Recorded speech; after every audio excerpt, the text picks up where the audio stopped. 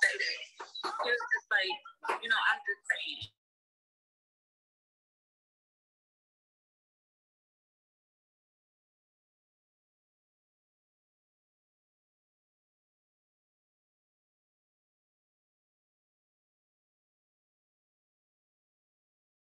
Marcus for slipping in so I didn't make a scene uh, this week. um, we are grateful, thank you. Grateful and thankful for this and the opportunity the Lord has given us to delight ourselves in the study of His holy and His righteous word. I'm grateful for those of you who are in the building on tonight, and equally grateful for those of you who joined us virtually we're thankful for your presence as well. Whatever you're doing to my mic, leave it alone. I don't know if they, can they not hear me? Nope. They can't? All right, well, do what you need to do that they might hear me. but tonight, um, again, I'm grateful that we're going to continue on our series on faith. And we have been blessed so far by what we have been enhanced in your walk with God. Praise God. Uh, tonight, are we ready? Tonight, um, I want to begin. I want you to go to your Bibles, uh, to the Gospel of St. Mark. Gospel of St. Mark, chapter number 11. the layout for our teaching on tonight, um, thankful, grateful, uh, Lisa has put our PowerPoint as well on the screen in the building. So we're grateful and thankful for that as well. Um, but I want you to go in your Bibles first to Mark chapter 11. There is a um, passage of scripture that I did not add to our, our handout. And that's because I was meditating on this passage earlier today and discovered how awesome God is um, as He has laid out some things in this that will help make our lesson even the more um, palatable digestible, if you will. And so I want to kind of talk about Mark 11 before I get to the handout. Y'all with me? So turn in your Bibles to Mark 11. you know the story. It is the story where Jesus goes near to Jerusalem and at the Mount of Olives, and he sends over into the village opposite him um, for the for the disciples to go over and get a colt that is tied up. And as Jesus sends them to get this colt, we know based off of our understanding on our time engraved with faith in God that he's getting it. And this is where it's that ascension into Jerusalem. Um, but later in the same passage, same Mark, Mark chapter 11, you'll find that after that happens, the Bible says that, that in verse 11 that Jesus went into Jerusalem I want you to take note of the fact that he went into Jerusalem and he went into the temple. The text says when he looked around at all the things that was in the temple, as the hour was already late, he went out to Bethany with the 12. I want you to take note that he looked at everything in the temple, then he left the temple. Verse 12 says that he went to Bethany. Verse 12 says he, he went the next day they had come out of Bethany. Now notice he's gone to Bethany and now he's on his way out of Bethany. Uh, before heading to Bethany, he looked into the temple. Are you with me? And right, he looked into the temple, he left and he went to Bethany. Then he came out of Bethany and he was hungry, right? And the text says he saw, this is what I want you to take note of. He saw a fig tree afar off he saw a fig tree afar off. He recognized it. And he, he, he, the Bible says he went to see if perhaps he would find something on it. So stands to reason that when he saw the fig tree afar off, he did not see whether or not there were figs on the tree. He just saw the fig tree far off. He was looking for figs though, because he, he don't eat leaves. The text says um, he would find something on it. When he came to it, he found nothing but leaves, for it was not the season for figs. he looked for figs in a season where the, the, the figs were not supposed to be there. What he sees off at a distance are looks like leaves, but he confirms that they're leaves when he gets up close. When he gets up close, he sees for certain that there are no figs. And the Bible says that when he sees that there are no figs, I'm in verse 14 of the text, says, Jesus said to it, to what? The tree. The tree that could not, did not fulfill the hunger he had. He spoke to it. And he said, Let no one eat fruit from you ever again. He sounds, y'all, forgive me for saying this. Jesus sounds a little crazy. He's talking to a tree. And he says to the tree, You're never going to bear fruit again. Are you with me? Now, so verse 15 of the text says, um, They came to Jerusalem. Then Jesus went into the temple and began to drive out those who bought and sold in the temple and overturned the tables of the money changers and the seats of those who sold doves. Now remember, he he's coming back. He gets back to Jerusalem. This is the same temple that he looked in, and he left. But on his return trip, he goes in and turns over everything in the temple. Y'all, reading your, your Bible? Right?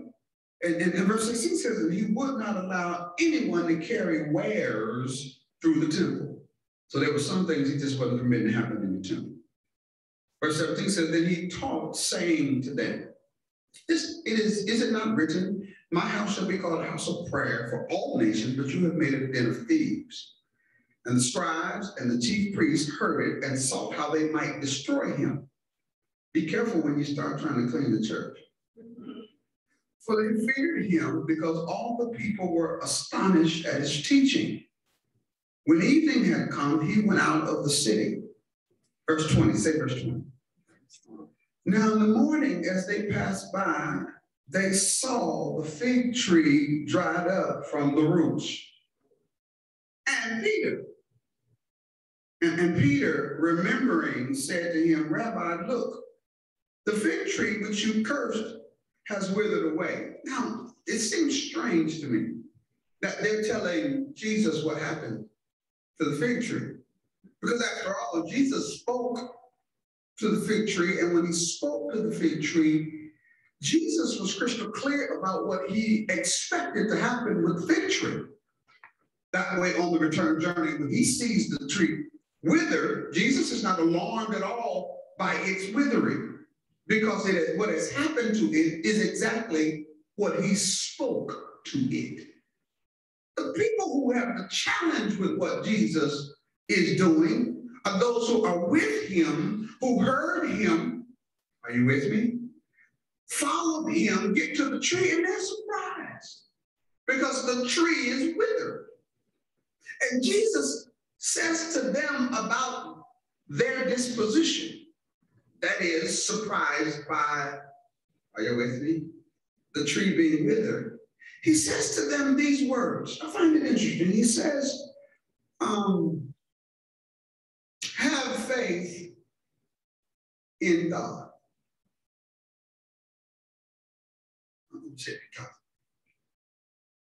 You're hearing me curse the tree and coming by it and you being surprised that it is, as I said, in the mind of Jesus constitutes having a lack of faith in God. How many of you are with me? And so now, now, um, faith in God rests in the outcome of what God says or the ability to see it. Are y'all with me?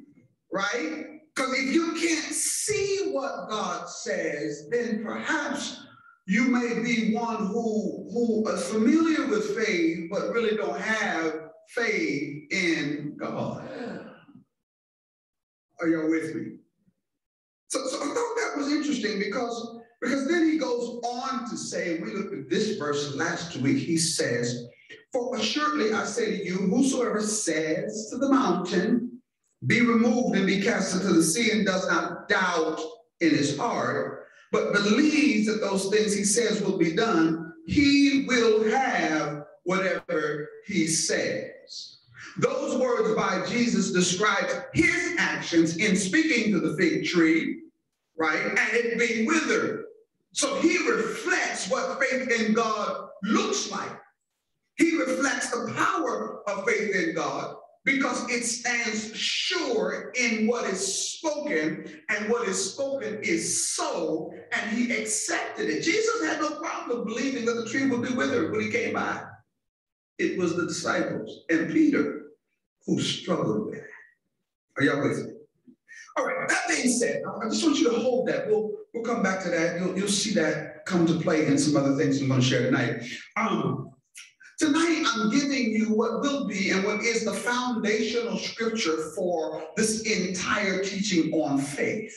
This entire teaching on faith will, will put our feet on the cement of Hebrews chapter 11 and verse 6. This is what it says, you know it. But without faith, it is impossible to please him. Who's the him? Well, for he that cometh to God must believe that he is and that he is a rewarder of them that diligently seek him. That's our foundational scripture. Our, our confession statement, say confession statement. The reason I'm giving you a confession statement is we learned last week and to even today, as Jesus displays, that we ought to exercise our faith with our tongue. We have to speak things by faith. And so I'm helping us develop this practice by giving us a faith confession, if you will, and so I want you, I want you to read. If you haven't read it, for those of you who who joined us virtually, look on the handout that you have available to you, or look on the screen behind me. Those of you who are in the building, just read that confession to yourself. Just read it quickly. Let me know when you're done.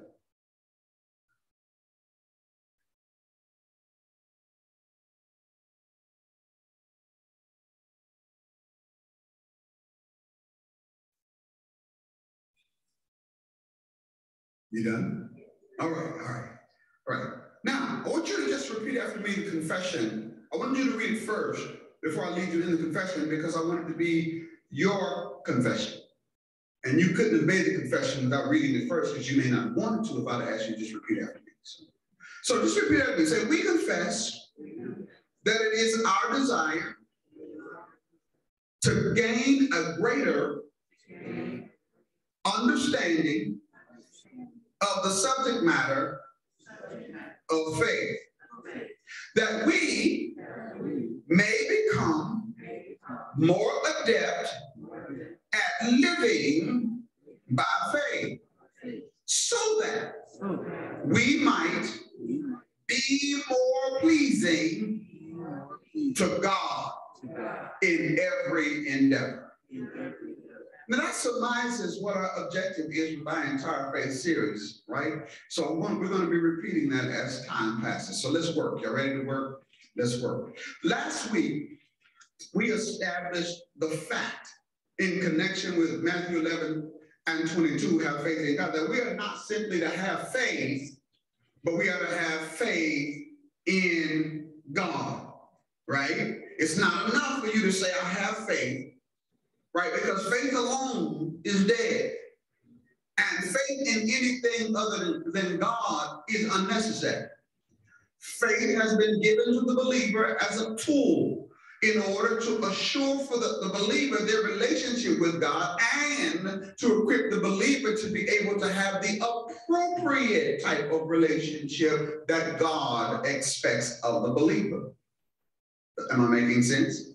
That's why the Bible says that he has given, God has given to every man a measure of faith. That's to secure that you're able to be in right relationship with God. And the way that you're in right relationship with God does not determine how you determine it, but God has already determined it that if it's going to be the kind of relationship that pleases God, it requires faith. Does that make sense? It's, it, let, me, let me do it this way. It's kind of like this.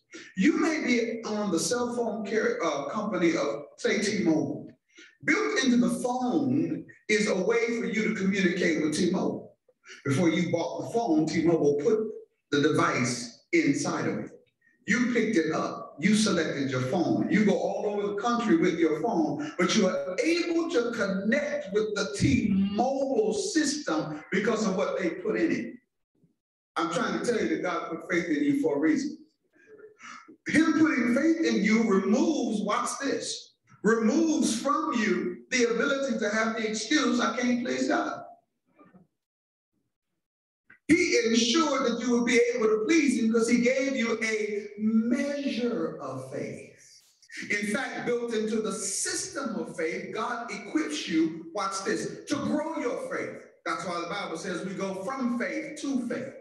So you can get better at pleasing God the more you develop your faith. Are y'all with me?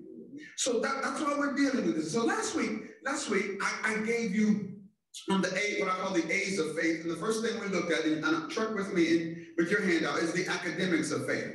I won't go back and repeat this, but I just want you to take note of the fact that the academics of faith taught us that we ought to speak to. Remember, Jesus spoke to the fig tree, right? We got to speak to, or we have to give verbal directives to the things that oppose our relationship with God. We have to, we have to speak to it, we got to speak to it out of a confident heart. Let me go back to my example of Jesus. Remember, Jesus, are you with me? Jesus spoke to the fig tree, told the fig tree that it going to get no more fruit to nobody ever, and he walked off. On the way back, we, we're not told where Jesus addressed that tree at all. He wasn't curious about whether or not it was so. Hmm. Y'all gotta say with me. He was not curious about it. Peter was. The disciples was, but Jesus walked by because he spoke to it in confidence, right? And he, he, he felt like the outcome was going to be what he said. Are you with me? That's the academics of faith on display. We also talked about the activation of faith, right? That is, you know that there are going to be some opposing circumstances to your speaking to the to the mountain, to speaking to the issue, but you can't let the opposing circumstances alter your what you've spoken. Am I making sense? Just because Peter questioned Jesus about what he did, Jesus didn't even bother to render any response to Peter's question. He just said, have faith in God. I love you. He said, Look, your problem is you ain't got no faith in God, and you are not my problem. Your lack of faith is not my problem. Are you with me? So you, you cannot alter the verbalization of what you spoke right? Especially when it is challenged. You gotta, you gotta hold fast to it. That's the activation of faith. And then we looked at the authority of faith. Are y'all with me? I'm just reviewing. The authority of faith. That means that because you've been given faith, you have the right to exercise faith, then exercise it. Don't let things challenge your faith and you not oppose them. Don't let things challenge your faith. Watch this. Your God stands in what you've spoken and, and, and your belief in God and you let something move you off of that without a fight. Remember, we fight the good fight of faith. Are you with me? So you got to contend. You got to wage war. You got to fight for. These are all the things that we looked at. We looked at these three things, but today, and we looked at them under under the banner of uh, I think it was developing deliberate faith. These are the, this is how you develop it. Well, today I want to talk about practicing it. You got to practice it. It's one thing to develop it, it's another thing to practice. Are y'all with me? All right? You ready to work? Keep asking y'all that question, but y'all ain't responding like Yes, sir. all right. Second Corinthians chapter 5. Second Corinthians chapter 5, verse 7. It reads, For we walk by faith, not by sight. The word walk in its original language in this passage is the word peripateo, and it means live. So when we read this passage, it actually says we live by faith, not by sight. Are you with me? Living by faith simply means you act, you speak, you think based on, what's this, what you believe to be true, not on what you feel to be true. Most of our faith gets overridden by our feelings. Am I, am I making sense? But faith is not based in a feeling, faith is based in the fact of God. That's why it's not just faith, it's faith in God. Are you with me? Now, listen to this passage again. It says, For we walk by faith. That's the A clause. The B clause says, Not by sight. So, what is, what is it? What is it this, this passage saying?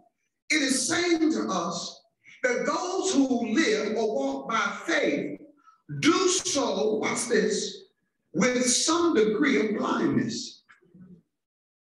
Yeah, yeah, yeah. Are you with me? My question to you tonight is what type of blind are you? Are you the right type of blind? Am I making sense? Are y'all with me? Are you the right type of blind? Because if we're going to please God, it requires that we live by faith and not by sight. So we are going to have to have some degree of blindness in order to please God. Are you with me? So let's talk about types of blindness. Um, are you the both eyes open type of blind?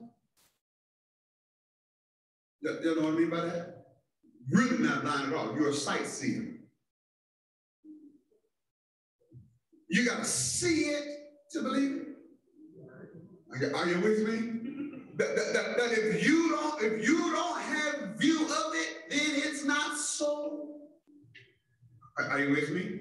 But well, sightseeing living is no faith living at all. Because the text suggests we live by faith and what? Not by sight. Let me, let me put this another way. You know, you ever met those people who they just got to know everything? you said they won't do nothing unless they know everything. Right? It ain't. It, it, that's that's that, that's those sightseers. You got you got to be careful if you're a sightseer because you're not a faith liver, right? Type two is um, do me a favor. Do me a favor. Take one hand and cover up one eye. Are the lights on in this room? You can see it? Right. But can you see darkness? You can see darkness the light? You see, yeah, that's that one eye covered blind. You know what you see? Division. Division. You see, sometimes up, sometimes down. Right? Vision is significant to faith. Division is counterproductive to faith. Because what you'll do is you'll have faith sometimes and sometimes you don't. Right? I call it blended faith living. Faith for some things, but not faith for all things. Right? I got faith for this, but I ain't got faith for that. I got faith that the Lord would raise me up from, from a cold, but cancer. Are you with me? You see, that, that changes the scope of things, right? Now remember, don't get nervous because watch this. The potency of your faith is not your faith. The potency of your faith is in who your faith is in. And that's what has happened. We've created a generation of churchgoers and believers who, who watch this, worship faith, but not have faith in God. We've got faith for other things when the reality is, is that's a misappropriation. I'll talk about this in a minute. That's an abuse of faith. Because faith was never to be for things. Faith was always given to us that we might be in right relationship with God. So because it's faith in God. So we got faith for house, we got faith for a car, we got faith for spouses, we got students who got faith for good grades. Just study. Y'all understand what I'm telling you? We, we faith everything. That's that's that's that's not right. Okay. Now, The third type of, of, of, of, blindness is both eyes closed blind. Do me a favor. Close both of your eyes. I promise you I'm not going to, well, this is not a stick up. Close both of your eyes. Now, while you have your eyes closed, I want you to think of your favorite food. You see it? I can tell that it is seed ice cream. Right? You see it? You see it, right? No, you don't. You envision it. You envision it. You don't see it, you envision it, right? Because that's what faith does. You can open your eyes, right? That's what faith does. Faith allows you to envision what God has promised. Are, are you with me? Jesus cursed that fig tree, walked away. On the way back, paid no attention. Why? He had faith to believe that it was going to be what it was. We only get the story in the Bible because of Peter. The victory is only referenced a second time because Peter, because Peter shows us how what we see oftentimes reveals where our faith is and where our faith in God is. Am I making sense? let's keep working. Romans chapter 1. Romans chapter 1 and verse 17. I want you to hear it. It says, For therein is the righteousness of God revealed from what? Faith to faith. Now listen, listen to what he's saying. He's saying that, the, that whatever is righteous of God, whatever is the righteousness of God, the only way it can be seen, now watch this, the term used is revealed. Right? You know what reveal means? It means to uncover. It is not seen. It is so, but it is covered up. And the only way it can be seen is from faith to faith. In other words, with your eyes closed. Much of what you view naturally does not require faith. Y'all mighty quiet. What God is trying to do is show you with your eyes closed what it is he has for you. But because we won't close our eyes, we got to see. Oh, we got God vision. We see God in some things, we don't see God in other things. We then are, are muted, all right? We, we mute ourselves from experiencing what God gave us faith to see. And we got to work on it. So watch this. So, so the righteousness of God revealed is revealed from faith to faith. As it is written, the just shall live by faith. The word just, dikaios, is the approved of or the acceptable of God. Hear me when I tell you this. You're not acceptable by God because you met 52 Sundays of the year. You're not acceptable by God because you have a position in the church. You're not acceptable by God because you're giving your hand to the preacher and your heart to the Lord. No, you're acceptable by God when you when you watch this, when you are the just. What is the just? How's the just determined to be just?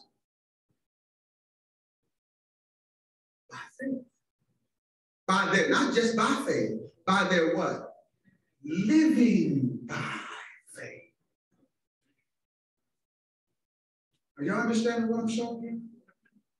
See, we've got we've got to get to the point that if we if we're really going to practice, right, deliberate faith, we got to understand it requires the fullness of our living. You can't you can't just believe God for some things and not for all things. Are you with me? Are there any comments or questions today? Yes, sir. Let me know. All right. All right, come on. So, so, so, so what do we want to do? We want to know what it takes. We want to know what it takes, right, to, to become the believer who, who, who deliberately lives by faith. Right? So practice deliberate faith. You gotta, y'all, y'all ready? Permission to teach. Permission granted. Here we go. You got to be clear on what you believe. You've been amazed how many people in church don't know what they believe. And don't get me wrong, I'm not talking about what you believe religiously. Because religiously, all that's going to tell you is the context of how you practice faith. But, but faith, even that is wrong. Because we're really not practicing faith, we're practicing religion. Well, but are y'all with me? Y'all understand that statement? But religion has taken the place of relationship with God. You've got a relationship with God and it has nothing to do with Carmel. Yeah, yeah, yeah, yeah, you do. You, you have a relationship with God and it has absolutely nothing to do with what you do at the church. Or oh, let me say this, or you should. Because if the sum total of your relationship with God only has to do with how you religiously practice, you're certainly not living by faith. You are compartmentalizing your relationship with God when God wants all of you. Are you understanding where I am? Y'all with me? So you got to get clear on what you believe because to the magnitude of what you believe concerning God will be the magnitude in which you exercise your faith. Many Christians aren't living by what they believe to be true because they don't know what they believe in the first place. So what happens? Watch this. The result of that is this. We don't have faith in God, we have faith, right? And we turn our faith in things. I got faith for the house. I got faith for the car. I got faith for the job. Are you with me? And that's called violating faith. It's an abuse of faith. Okay, let me put it where you can, you can grab. Um, your significant other says that, you know, that, that they, they, they bought this diamond for you, or this diamond watch brothers for you, right? And you're like, thank you. Then the next day they take that diamond, they give it to somebody else. You know? That's a violation. This one said, and grounds for murder, I think. you. When we put faith in something that's not God, that is a violation of faith. Y'all are mighty quiet. You can put all, you can put your faith in our Carmel if you want to. You can put your faith in the government if you want to. Like this morning, I was I was messing with folk. I was meddling this morning. You can put your faith in your retirement if you want to. Yeah. That's a violation. But that's what happens when we just embellish faith, but we don't embellish faith in God. You got to get clear. Who's the source of your living? I don't want to get preachy, but I feel it, y'all. I do.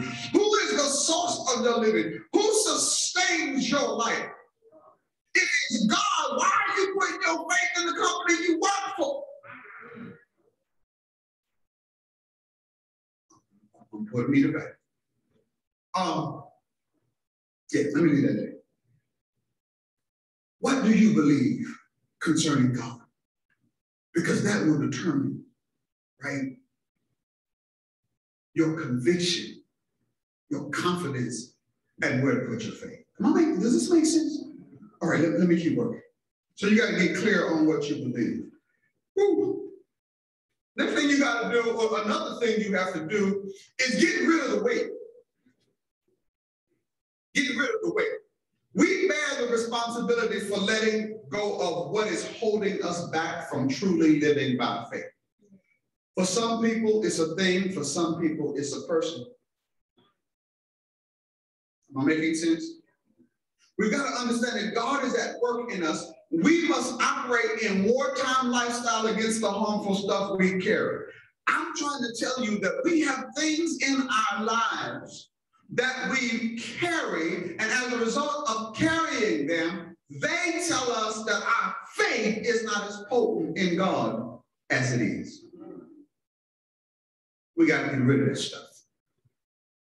We got to we, we, we, we got to discard that stuff. All right? Am I making sense? Uh-uh. Okay. Let's keep working.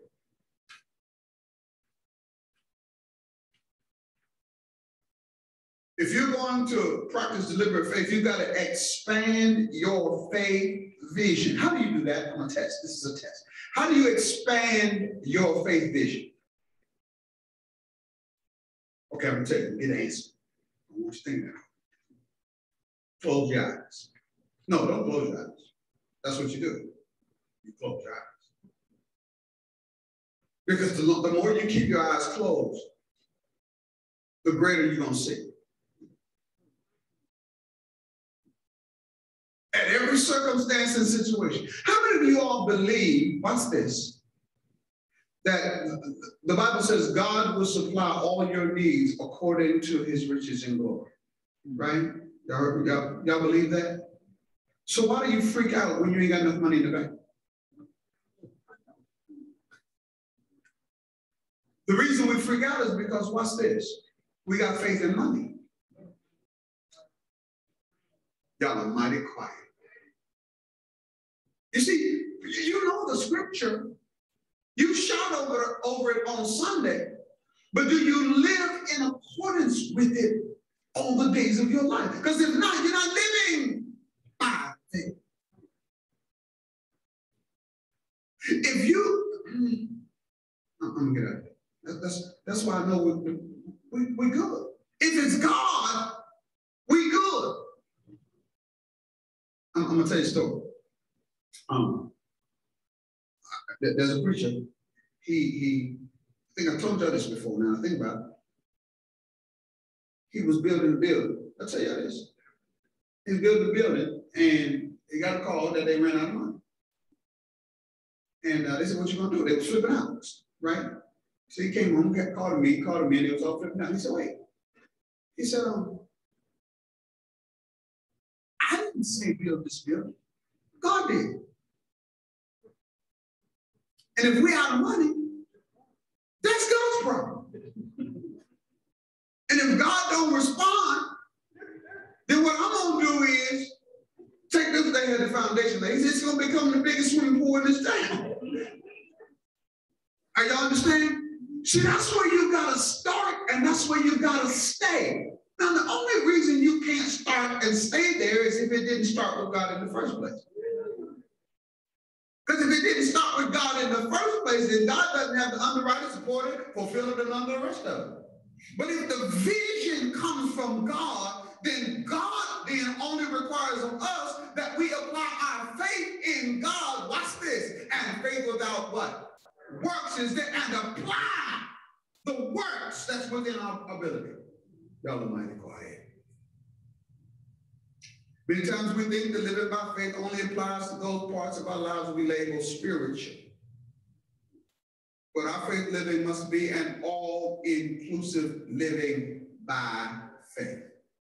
Am I making sense? All right. Let's keep trucking.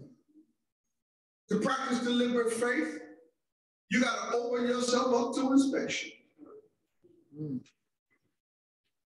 See, the truth of the matter is, there are too many, there are too many church folk who already think that they're living by faith.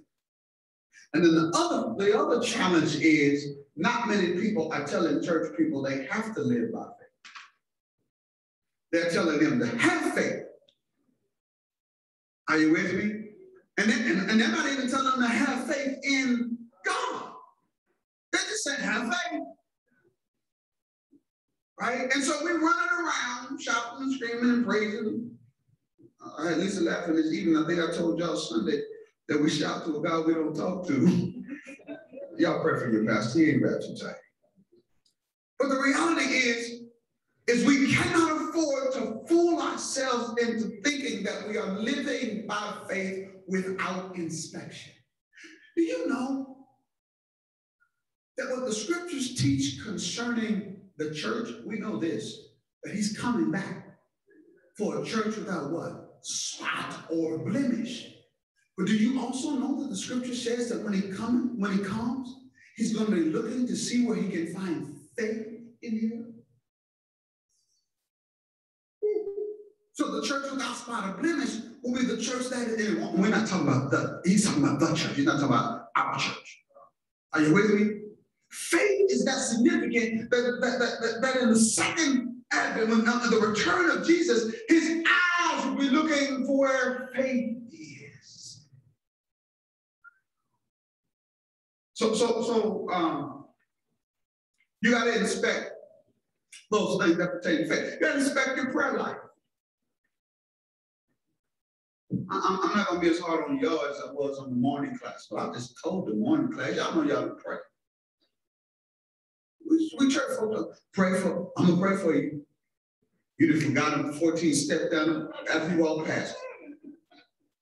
How many, how many of you have, this is now, now I'm at it, but how many of you have um, a prayer regimen? And, and, and other than when in trouble. Because that's when most Christians pray when in crisis. Am I making sense? But you, you gotta have, you ought to have, you ought to have a prayer diet. A prayer rate, right? I'm I'm gonna get out of that. I've done that. Inspect your prayer life, check it out. Because now he won't let me let it go. So scripture says, man, I'll always pray. Watch this, and not faint. If you've fallen out, check your prayer life. No, no, I'm serious. If you if, if, you if you if you are losing the fort the, the, the fortitude to live, you're losing the fortitude because things are happening to you, and now you're worn out. And you want to throw in. The, listen, check your prayer life. Leave that alone. Check your study life. This is a good place for a shameless plug for Sunday school, Bible study, church.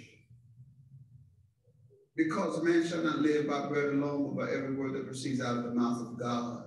Are y'all with me? And check your fasting life. What?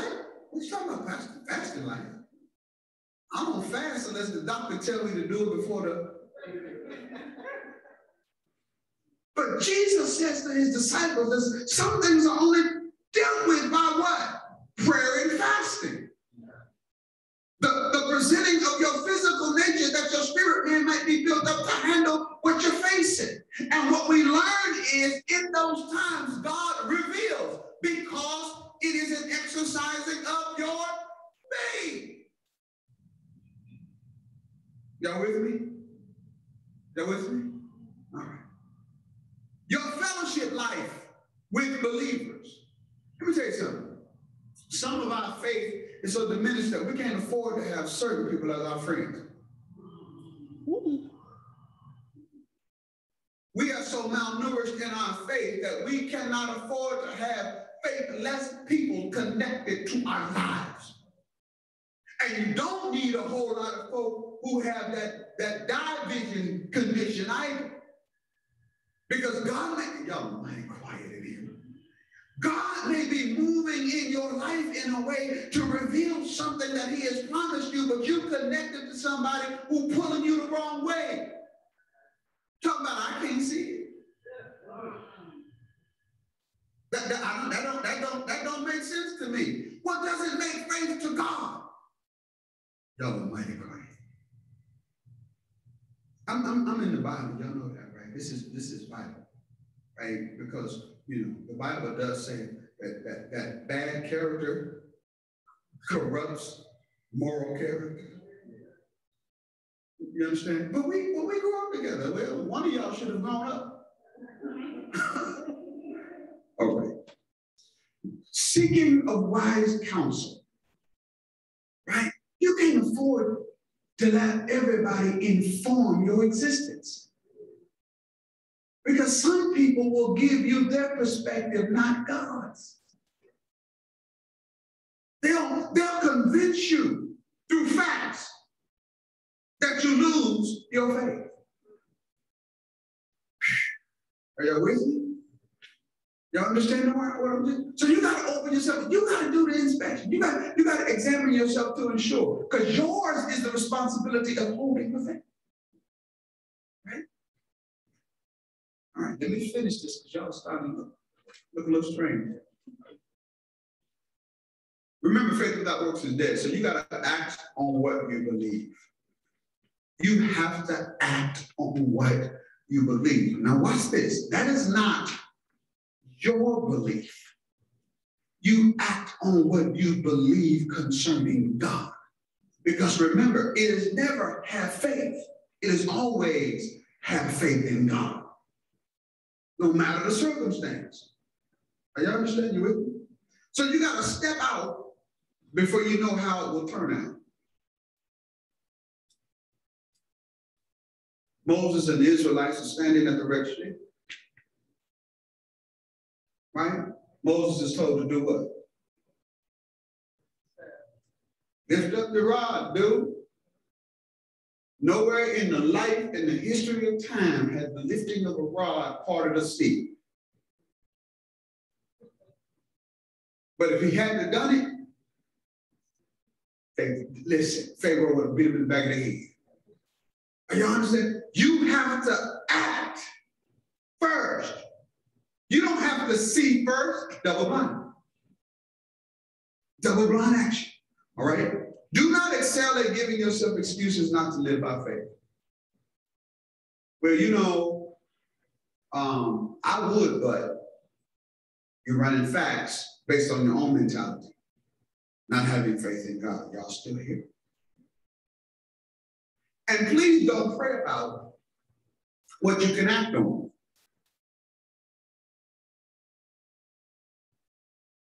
That's an excuse that we make. Well, I'm gonna pray about it. You know, it's not. It doesn't need prayer. It doesn't need prayer. If God says give five dollars and it's in your pocket, stop talking, thinking about what you're gonna not have if you give it. Y'all, y'all got real quiet. That's very good money. Act on it. Don't give yourself anything. Well, shoot. I gotta, get them M&Ms in the morning. I shit. I know I'm using very simple examples because I want you to get it.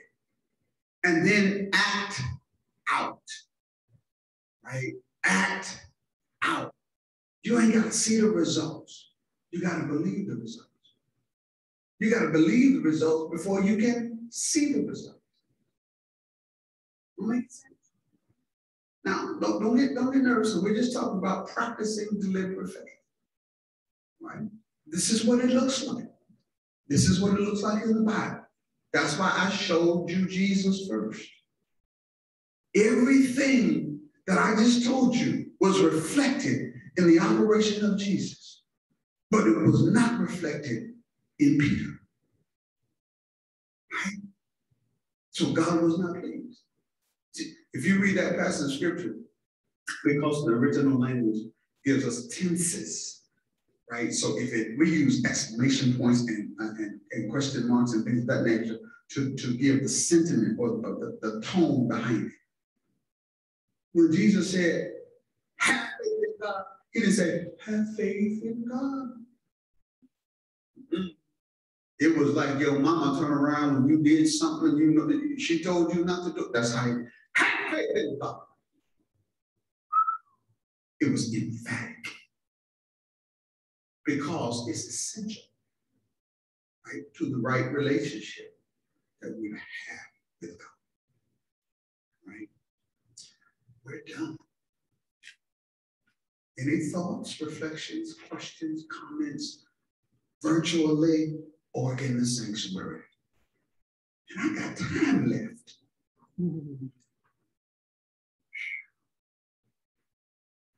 What are you thinking? What are your thoughts? I got time, I'm gonna use it. This door's thinking. No questions? Clear? Concise? Well, let me, so, so, so how much time I got? Tell me how much time I got. Tell me getting out early. Ten minutes. Oh, I got 10 minutes. Okay. So let's see. Let's see what else I can say about faith. Good. Thank you.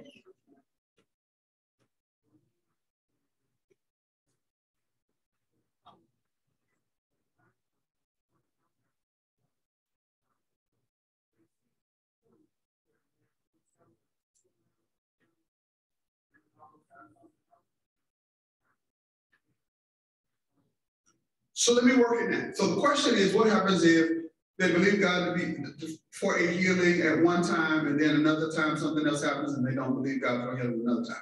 So let me tell you what, what, what the challenge is. That that reflects a um, belief in faith, but not necessarily a belief that is faith in God. So let me tell you why, why I say that.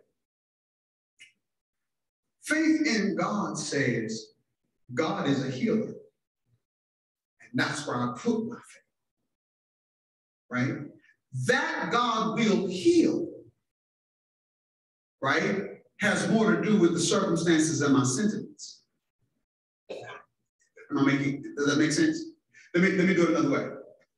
The Hebrew boys in the fire furnace, right? They said Nebuchadnezzar, they said, listen, we if God will, but we believe that God can. See, that's faith in God right? When we start trying to manipulate the circumstance, right? That's just faith. That, actually, it's not even faith. The, the, the thing that that mm, thank you, Lord. The thing that most people call faith is wishful thinking. Right? Thinking. And we, we, we classify as faith. No, God can. That's all I, that, that's what I believe. God can. It's hard to stop right there. It's because of the assessment. It's, it's, it's the reliance that we have in God. It's, it's not as fervent as we oftentimes say, right? It's polluted religion. But if you have a relationship with God, right? It's a dependency on God, and it's a dependency on the character of God being God. Because it may not be of God's will to heal it. And if it's not of God's will to heal it, you get disappointment because really what you had was wishful thinking, not confidence in God. Not, not my assurance is, is what God wants for me not necessarily what I may want. Remember, I told you, it's not about your feeling. Faith in God is about God. Does that make sense? I know, it, I know it's a challenge. I know it's a challenge because we're just not used to it. We're not used to it. We're not used to being told as believers that it is, is as simple. He that comes to God must first believe that he is and that he is a rewarder of them that diligently seek what? Him. Jesus testifies, no man cometh unto the Father but by me. The goal is to the Father. But because we have been so sensationalized by religion, we or or we have been put in postures where our religion dictates who God is, not God dictates our religion. Hmm then what happens is what we do is if it doesn't happen the way we think it should, we don't call it God. It's one of the biggest tricks the enemy has played on humanity as relates to relating to God, and that's why there's so much division with the church.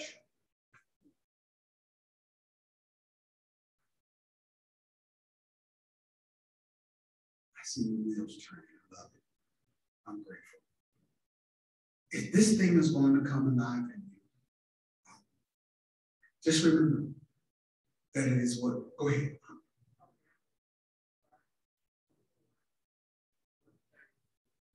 What does that mean? We've been looking at from at least 54, five years here, right? 54 years here. what does it mean? Right, but, but what does it mean?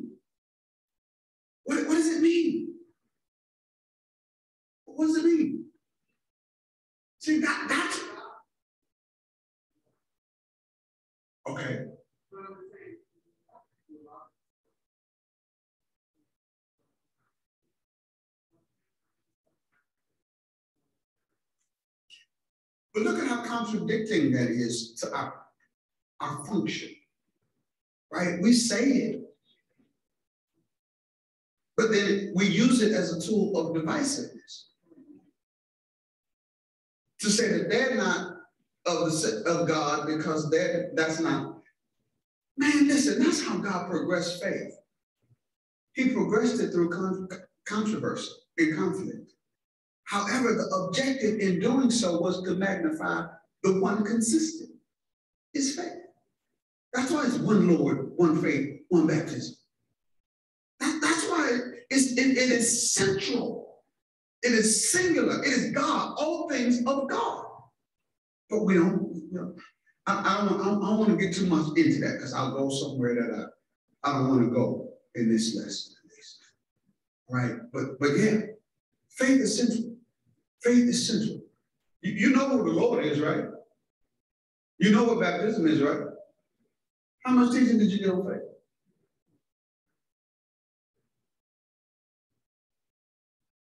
It's the thing the Lord is coming back to see, look for. It's the thing that pleases God. I need to go off the air because I'm irritated. we have not I, I a message called Can the Lord, Can the Lord God Come Home? Right? Uh, I won't preach to y'all till probably five years from now. But the but the but the, the sentiment is that much of what we do has nothing to do with God or Jesus. Right? I just showed y'all Jesus went in the temple, left, went in and cleaned it out. Because everything that was happening in the temple the two.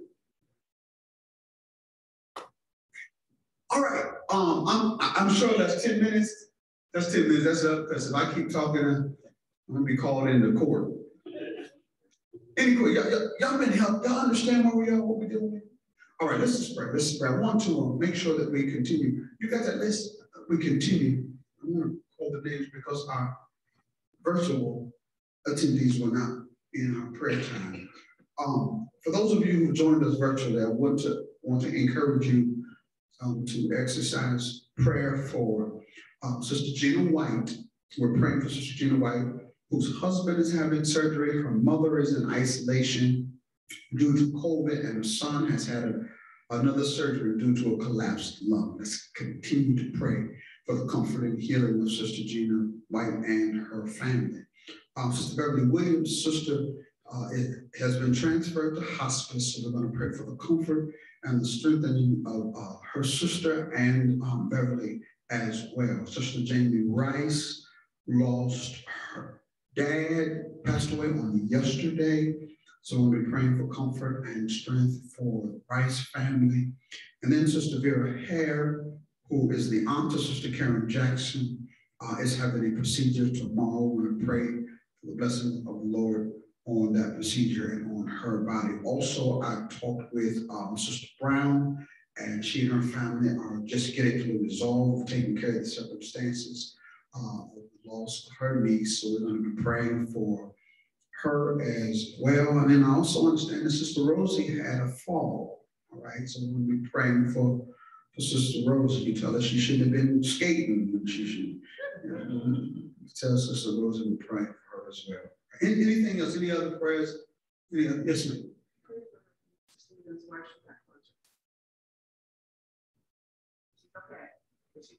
Wow.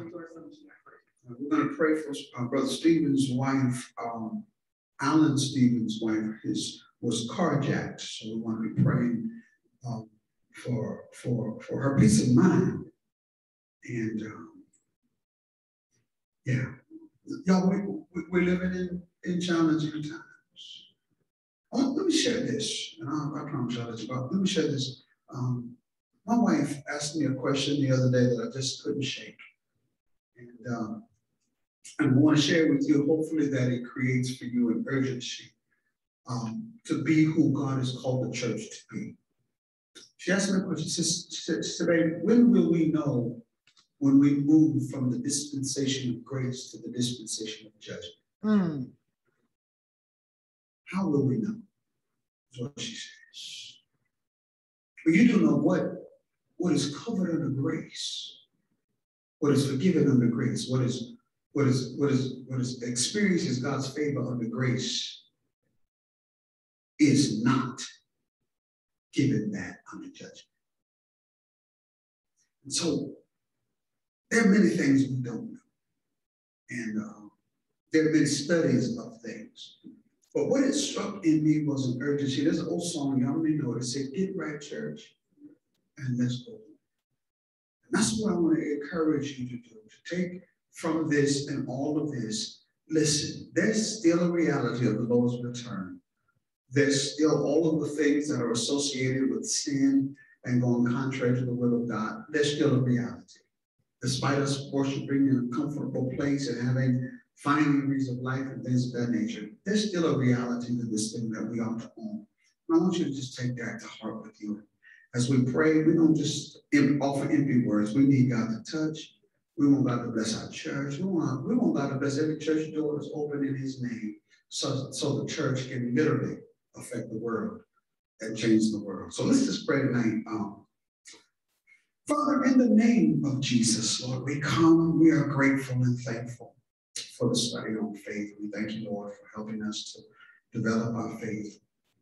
We recognize that without it, we can't please you. But Father, that's exactly what we we are, we are professing that we want to do and we are intending to exercise, Lord. We want to please you in all of our ways. So thank you for helping us, Lord, gain understanding of that which we know is essential to pleasing you. Father, we, we pray that as the word is going forth, Lord, that it is not falling on deaf ears. Allow us to continue to pray continue to study, that we might see the manifestation of this word in our living. Father, we pause in intercession.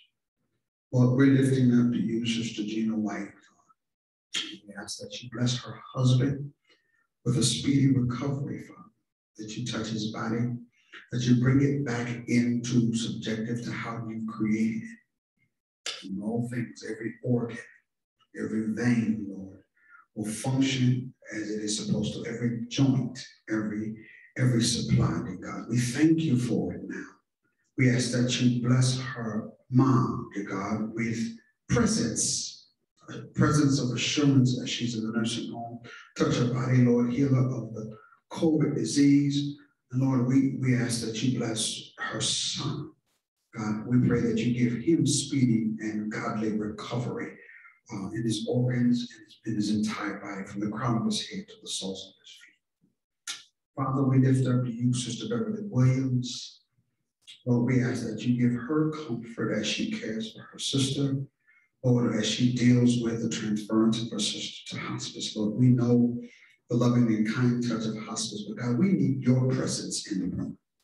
We need you to work in the circumstance, Lord. We ask, the Heavenly Father, that you show that you indeed are the keeper and the sustainer of life. And the Heavenly Father, you're the, you're the orchestrator of all things pertaining to the believer. So touch them, comfort them, and strengthen them, Father. Do it in the name of Jesus. Lord, we, we ask that you wrap your arms around the Rice family. Touch Jamie, dear God. We know losing a father is tough, but God, we know that you promised to be our Heavenly Father. So, Lord, fill the gaps, fill the voids, and Lord, allow your comfort, as you said you would, to be with them in times of bereavement. Father, we ask that you touch Sister Vera Hare. Lord, first of all, comfort her niece Karen, Lord, and then touch Sister Vera's body. Lord, we know you to be a God who heals. And Lord, we yield to your will. We ask that you just touch, Lord, if your grace and mercy allow Sister Vera. We ask that you give wisdom to the physicians, Lord, that they might treat and see all things, dear Lord, that works for the betterment of her existence. And we thank you for it in advance. God, we ask that you touch Sister Brown and her entire family. God, we know that they've had a bombardment of loss in their lives. Lord, comfort. Lord, we ask that you bring peace in the midst of the family. And God, show your hand mighty. And Lord, allow love to prevail as they engage the circumstance of their bereavement. And Father, we ask that you bless uh, Stevens, dear For we ask, that God, that you comfort her, Lord, steady any fears and phobias concerning being out amongst people. God, we ask that you bless her husband by her side, and Lord, give them the strength they need to move beyond this challenge of life and to continue to glorify you with their living. And God, I simply ask, God, that you continue to bless this church, each and every person present virtually and physically, for the unspoken concerns, things that are on the hearts and minds of your children. Lord, we ask that you just touch and meet us at the point of our needs. God, we are so thankful for our place in the body of Christ, and we take it not for granted. Help us to live for you as you desire us to live. And God, as we prepare to leave this place, to remember your presence, we pray that you be with us, that you lead us and guide us, and make us to meet our destination safely. Lord, until the next point in time, we pray with gratitude.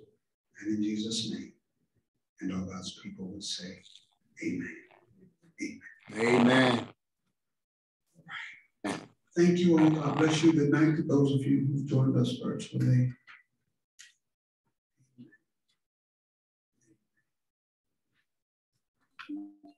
Good night, Jack. Zach.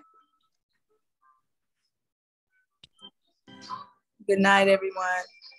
Good night. Thank you, Pastor. Good night, everyone. Thank you. Good night. Good night, everybody. Good night. God bless. God bless. Yes. Thank you. Thank you.